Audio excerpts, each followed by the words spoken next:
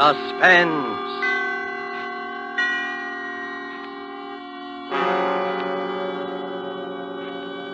Presented by Roma Wines, made in California for enjoyment throughout the world. Salute. Your health, senor. Roma toasts the world.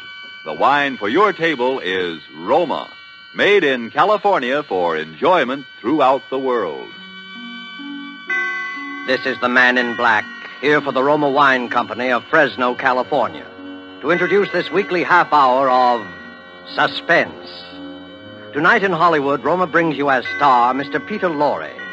The suspense play which stars Mr. Lorre and which is produced and directed by William Spier is called Back for Christmas. In this series, Roma brings you tales calculated to intrigue you, to stir your nerves, to offer you a precarious situation and then withhold the solution until the last possible moment. And so, with Back for Christmas and with the performance of Peter Lorre, we again hope to keep you in suspense.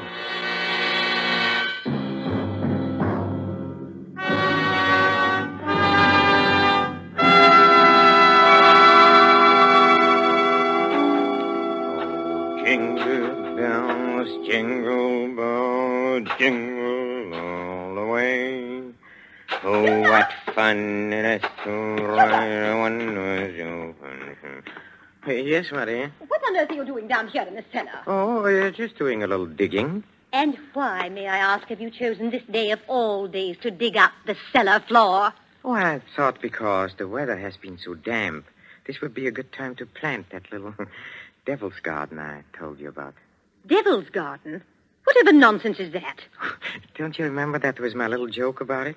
You see, uh, I've managed to get hold of the spores of several unclassified wild orchids. In their wild state, they bloom under damp masses of leaf mold. The South American Indians call them devil flowers because they appear to bloom under the ground. Well, I'm sure the South American Indians will be very interested if you succeed in growing these ridiculous flowers under the cellar floor. Whom else it will interest, I can't imagine. Oh, what's that terrible smell? Oh, that's the leaf mold, uh, chemically identical with the earth blanket they grow under in their wild state. And I want to get these started before we close the house. Do you realize that we're sailing for America a week from today, and you've made no arrangements whatever? Unless you call digging a hole in the cellar making arrangements. I certainly don't. Devil's garden, indeed. Sometimes I think you're going soft in the head, Hubert. Oh, I, I suppose it is inconsiderate of me, you see. And I've been wanting to try this experiment for a long time, but uh, with all those lectures and seminars at the university, there, there never seemed to, to be enough time. Well, there certainly isn't any time for it now. I suppose you've forgotten I made an appointment for you at the barber's this afternoon. Oh, oh, must I shave my beard off, Hermione? I thought we'd been through all that. Of course you must. They don't wear beards in America. Bad enough you're speaking with that accent. They'll probably think we're Germans as it is. Oh, I should think it would be quite easy just to explain that I'm Swiss. Now, Hubert, don't be argumentative. Oh. Go and get your jacket on and do as I tell you. Yes, Hermione. And don't forget to take your umbrella. It looks like rain. Yes, Hermione. And don't look so put upon, Hubert. Someone has to plan things in this house. Never even get to the university in time for your lectures, much less make arrangements for a trip to America. I know, but what about my specimens? There'll be plenty of time to plant your precious devil's garden when we get home from America. We're not going to be gone forever, you know. We'll be back here for Christmas. Yes, of course. Back for Christmas. I'd forgotten. We'll try to remember it. And if you can't do that, just do as I tell you. I've been making the plans in this house for 20 years. And if there's any digging to be done, I'll manage that as well. You understand, Hubert? Yes, Hermione. Good. Now, you have just uh, 20 minutes to clean up this mess down here and keep your appointment at the barber's. And when you're finished there, I want you to come straight home. All right. Oh, oh, I, I wanted to stop at Miss Markham's and pick up some books I ordered. Well, all right. But don't loiter there the whole afternoon mulling over those old books the way you usually do. Now hurry and clear up this rubbish. Get rid of that smelly stuff. And no more digging, mind you. No more digging. I'll show her. I'll have my devil's garden, and if I... No more digging, eh? No more digging. Oh, fifteen men on a dead man's chest. Yoo-hoo! Yoo-hoo, and a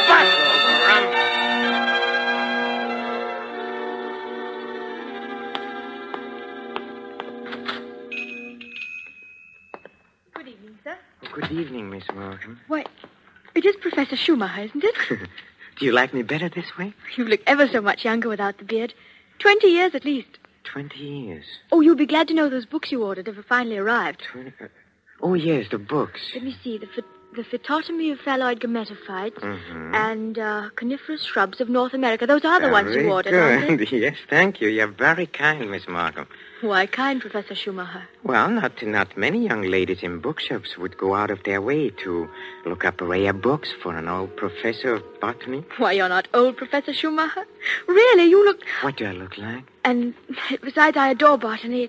It's my particular hobby. Oh, really? You've never told me that before, Miss Markham.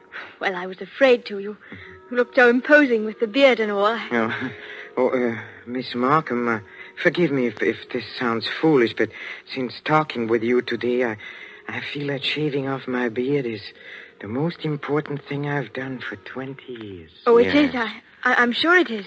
For 20 I'm- I'm so sorry that I've been so distant with you all this time. Oh, there were times when I almost spoke up. Oh, really? Times when you came in here tired after a day with your students at the university. You seemed so alone.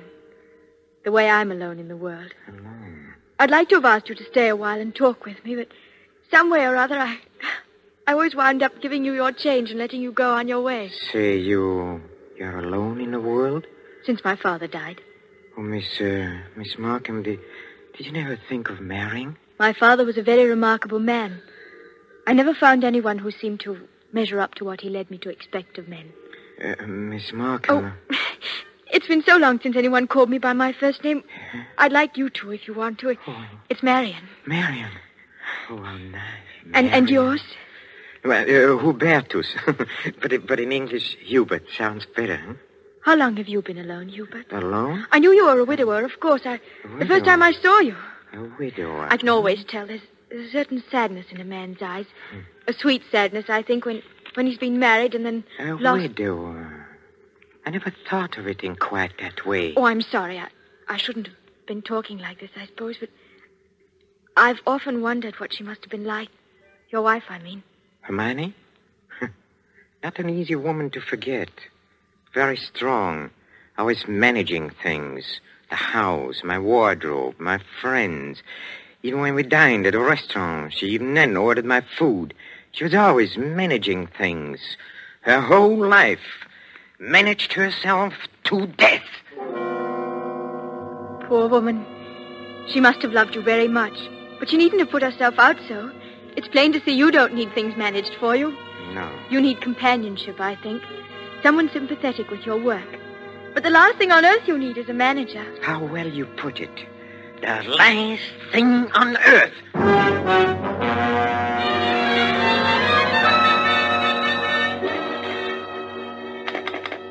Operator, operator, are you there? I'm still waiting on that call to Salisbury. Well, put them on quickly. Hello. Is this Paul Holt and Sons? It's Mrs. Hubert Schumacher. Did you receive my letter? Good. Now remember, we'll be back for Christmas, and I want the job done without fail. What's that? No, no, I'm sure he doesn't suspect anything. Send it to me in New York as I instructed you, addressed in my name, of course. Yes. I've already put them in the mail. You'll get them tomorrow. Thank you. Thank you so much. Oh, here you are, Hubert. Where have you been? Oh, backstairs. I dismissed the servants.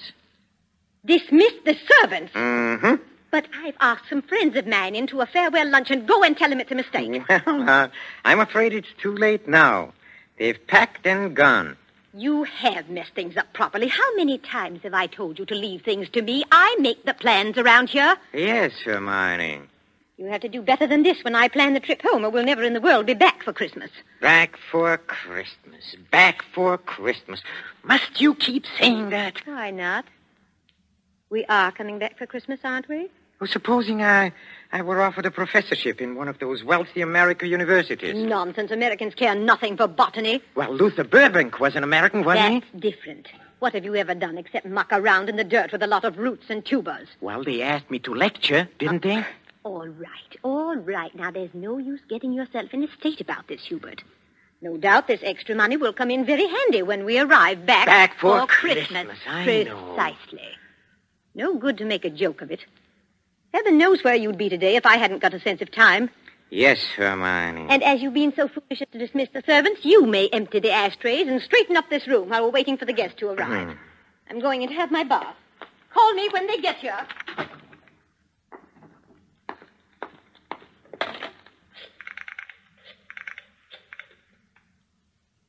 Marion? It's Hubert. No, no, darling, no, nothing is wrong.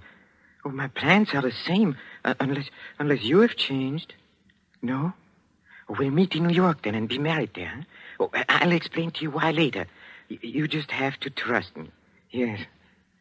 yes, madame. Hubert? Oh, I'm so sorry I can't talk any longer. Yes, I'll meet you in New York without fail. Auf Wiedersehen, mein Liebchen. Hubert, were you talking on the phone just Uh, now? uh, uh, yes, uh, yes, Hermione. Whoever was it? Oh, Freddie, Freddie Sinclair. Uh, didn't I hear you say something about meeting somebody in New York? Uh, why, yes. Uh, uh, Freddie said he might possibly get over there before we even leave. And, and I said, of course, we'd meet him there if he decided to go. that seems very peculiar. But then all of your friends are peculiar. yes, Hermione. And just look at your jacket. Have you been digging in that cellar again? Yes, Hermione. Well, there's no need for it. You can't possibly get that Devil's Garden thing finished before we sail for America. Go and change your clothes before the guests arrive. Oh, never mind. I see somebody coming up the walk now. Go and let them in. Yes, Uh, Hubert, yes. look out the window. There's Professor and Mrs. Goodenough, but who's that with them? Well, who... Uh... Precisely. Freddie Sinclair. Peculiar you should have been talking to him on the phone not three minutes ago, and now here he is. yes, isn't it? oh, but then, as you see, Hermione, all of my friends are peculiar. Not half so peculiar as you. Digging in the cellar the very day we leave for America. Just look at yourself. And now that I think of it. Yes? Oh, never mind. Uh, go and let them in. Oh, uh, you were going to ask me something, Hermione, about uh, the hole I'm digging in a cellar. Good heavens, stop rolling your eyes about that way. One would think you were digging a grave down there instead of a storage bin. Yes, Hermione. What's that? I said yes, Hermione. Father, open the door and please stop saying yes, Hermione. I think, my dear, I have said it for the last time.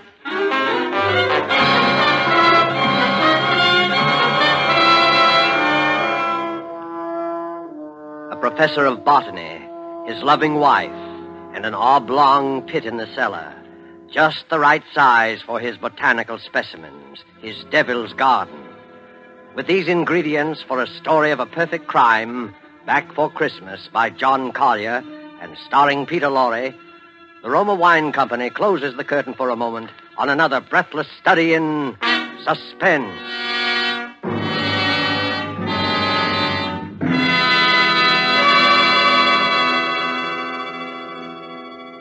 In this brief intermission in the play, it's pleasant to think about the holidays. Not everyone celebrates the holidays against a background of snow and pine trees. Somewhere south of the Gulf and the Caribbean, in a gracious home surrounded by palm trees in the warm sun, you might find holiday dinners ending this way. One moment, please. Our North American guest wishes to propose a toast. Yes, mis amigos. I drink a toast in gratitude to you for your gracious hospitality and the enjoyment you've given me, an American so far from home. It is only a fair exchange, my friend. This wine in which you drink your toast, it brings enjoyment to us from your country, from America. It is Roma wine, made in your own California. Yes, and when you choose the wine for your holiday table, remember this. Only a few wines are so fine that many countries of the world import them. And among these greatly enjoyable wines are the wines of Roma. R-O-M-A. Made in California for enjoyment throughout the world. Yet here in America we are truly fortunate. For we may buy Roma wines at a very low cost, since we don't have to pay import duty or costly shipping charges. So serve Roma wine with pride on any and all holiday occasions. Serve Roma, too, for everyday dinners. You can afford to. Ask your dealer tomorrow for your favorite Roma wine, America's largest selling wine. But before you buy wine, Buy war bonds. And now it is with pleasure that we bring back to our sound stage Mr. Peter Lorre in Act Two of Back for Christmas. A tale well calculated to keep you in suspense.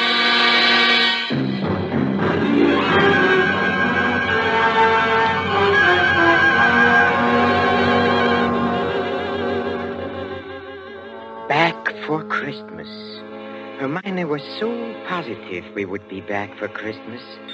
That last afternoon, pouring tea out for a few friends who had come in to say her last minute farewells, she kept reiterating it. Now, mind you, Hermione, don't let those Americans lure your husband with one of their fat university jobs.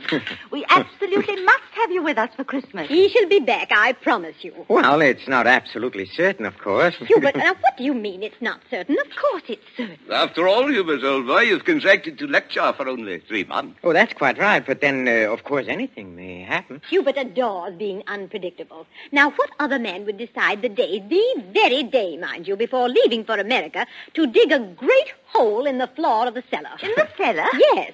He's going to put some unclassified wild orchids down there. A devil's garden, if you please. It sounds so mysterious. That's Hubert, though. It's really quite simple, however, once you find out what he's up to. Now, take that telephone call he put through to you a few minutes ago, Freddie. Uh, to me? Of course. now, Hubert wanted to surprise me about your plan to meet us in New York next month. Wasn't that why he called? To ask you not to mention it? My dear Hermione, Hubert couldn't possibly have telephoned me within the past hour. I've been walking in the park since three. He didn't telephone you? Well, how could he? As for my going to America... No, no, no, no, no. Uh, come, Freddie, come. You may as well confess. Hermione has just found me out again. But Hubert, old chap, I really do. You see what a poor liar Hubert makes. He's red as a beetroot. Aren't you ashamed of yourself, Professor? Stringing poor Hermione along like that.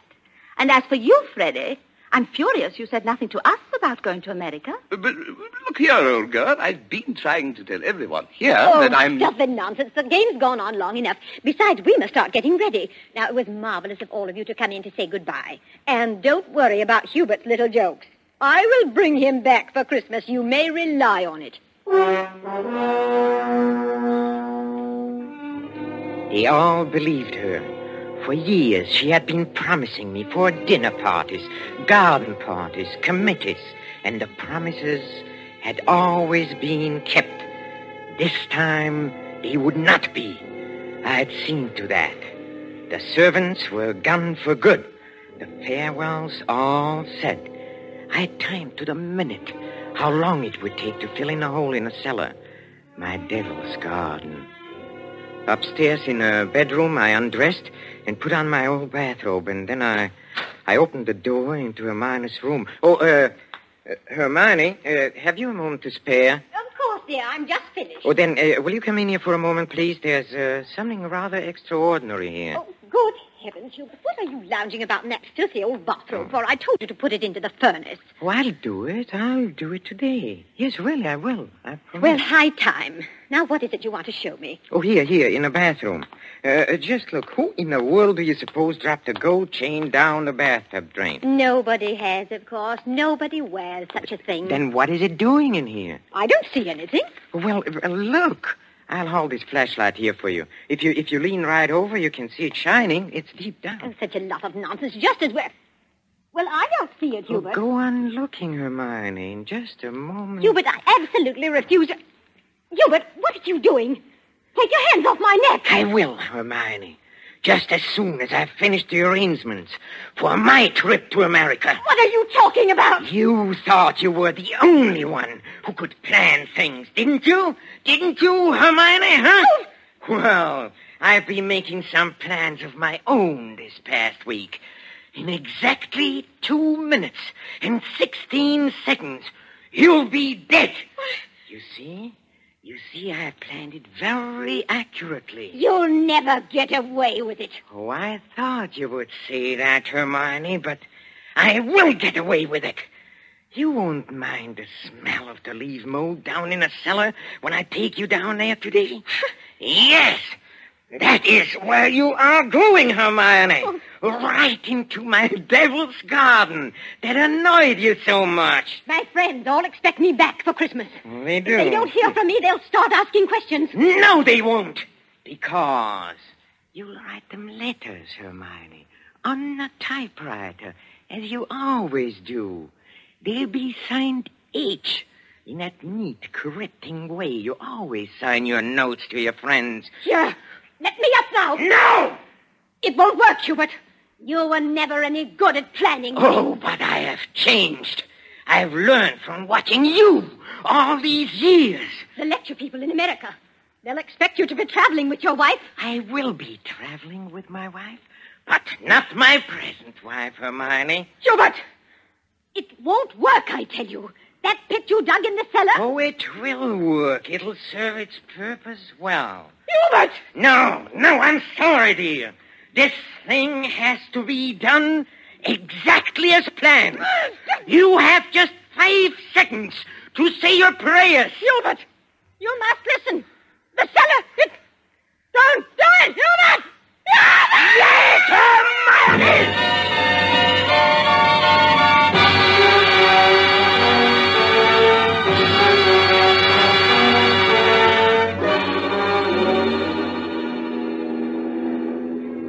Oh, uh, uh, Steward.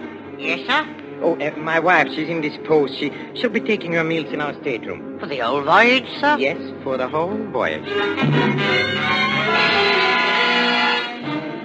I trust your wife is feeling better this morning, Professor Schumacher. A, a little. Uh, not yet well enough to leave her cabin. Oh, what a shame. Oh, Professor Schumacher. Yes? Here's a copy of the radiogram you sent for your wife last evening. Oh, thank you. I'll just check it over. Oh, but, but look. Look here. Why? What's the matter? Did the typist make a mistake? No, no. it's nothing important. She, she can correct it later.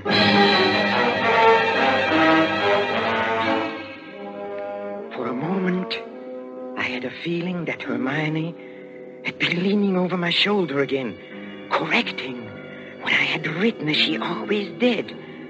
I had written a radiogram to Professor Goodenough and his wife. Haven't been out of my cabin the whole beastly trip, Hubert well. Now, doubt, we'll be back for Christmas. But the operator had left out the W and, and it read, No doubt we'll be back for Christmas. Exactly what Hermione would have written. Well, the rest of the trip was uneventful. Marion and I met in New York just as we had planned. Just as we had planned.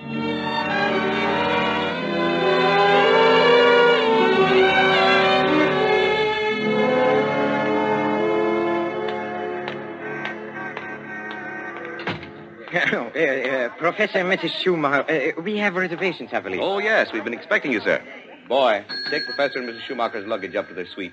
You know, Mrs. Schumacher, you're quite a surprise. Oh? Your letter reserving the rooms was so thorough, I was expecting an older, more forbidding sort of person, frankly, ma'am. No. As a matter of fact, we're just married, but I. My letter reserving the rooms. Oh, oh, I wrote the letter, my dear, and, and I signed it Mrs. Hubert Schumacher. Just a joke. What a cunning old fox you are, Hubert. now that I think of it, I... Oh, uh, I almost Okay, forgot. yeah. There's a letter for you, Mrs. Schumacher. That's peculiar. I wonder who on Oh, earth. Oh, well, we'll soon find out in good time. Come along, darling. Oh, we are keeping the boy waiting. Come on.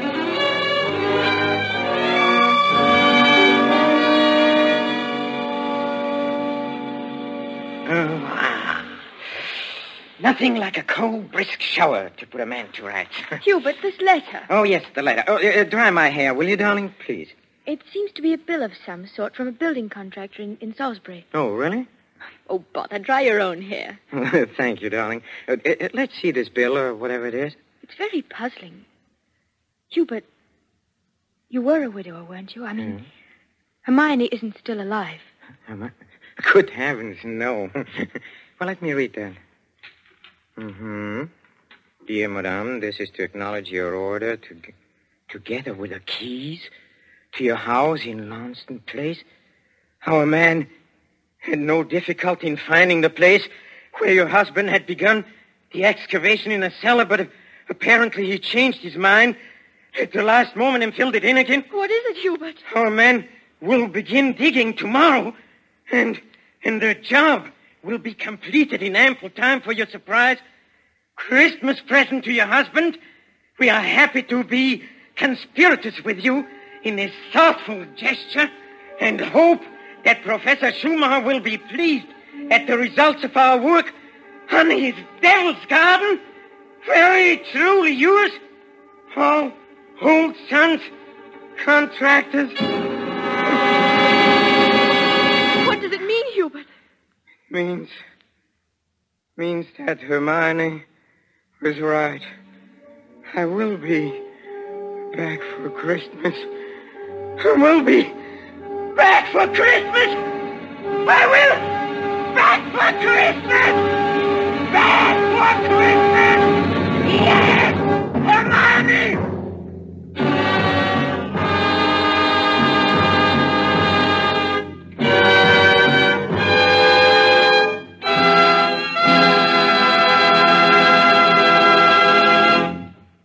And so closes Back for Christmas, starring Mr. Peter Lorre. Tonight's tale of suspense. In just a moment, we shall hear again from Mr. Lorre. But first, just a word that seems appropriate. One of the world's oldest customs is the Christmas toast. And traditionally, down through centuries of war and peace, the Christmas toast has been drunk in wine. This year, when the glasses are filled and raised once again, we know that in every home the toast will be to a speedy victory and a speedy return of those we love. And before we set the wine glasses down, let us all resolve to do everything within our power to help make that toast come true. Let us resolve to help supply the weapons of war by buying even more and more war bonds. Let us resolve to face our own inconveniences without complaining. And above all, let us resolve that when this war is at last over, each of us will exert all our effort to see that future Christmases truly express peace on earth, goodwill to men. This thought, together with our very best wishes of the season, is the Roma Wine Company's Christmas message for you, its friends, here in America and throughout the world. This is Peter Lorre. Thank you for listening to our suspense play this evening, and I know you're looking forward to next week's show as I am. It is called uh, Finishing School, and its subtitle might be the famous quotation The female of the species is more deadly than the male. Don't forget then, next Thursday, same time, for Margo, Elsa Lanchester, Janet Beecher, and a distinguished all feminine cast in Suspense. Presented by Roma Wines, R O M A. Made in California for enjoyment throughout the world.